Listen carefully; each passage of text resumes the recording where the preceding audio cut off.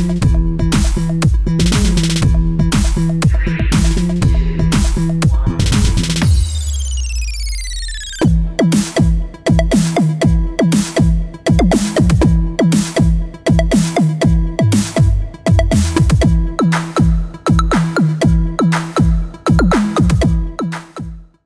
Dạ em xin chào quý vị ban giám khảo.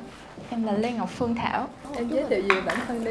Theo như em đã tìm hiểu cuộc thi của mình do người Việt mình tạo ra Và đang mong muốn tìm kiếm một gương mặt đại diện Vẫn giữ được cái nét hiện đại của người trẻ Việt Nam Và qua đó có khả năng gây thiện cảm và ngoại giao tốt với bạn bè thế giới. Và em sẵn sàng cải thiện bản thân mình nhiều hơn trong khoảng thời gian mà chuẩn bị cho cuộc thi sắp tới hy vọng là em sẽ được trao cơ hội ở Miss Grand sắp tới này. Nếu mà em có một cái cơ hội giới thiệu về một cái nét đặc trưng của Việt Nam với bạn bè quốc tế thì đó là cái điều gì? Nếu để giới thiệu với bạn bè thế giới, em rất sẵn lòng mời mọi người đến với Việt Nam và dẫn bạn bè thế giới đi từ Bắc tới Nam. Phía Bắc có dân ca quan họ, vùng núi họ có thổ cẩm rất là đẹp. Miền Trung thì có thức ăn, rồi miền Nam thì có sông nước. Em muốn giới thiệu với tất cả chứ em không muốn giới thiệu riêng một cái gì đó.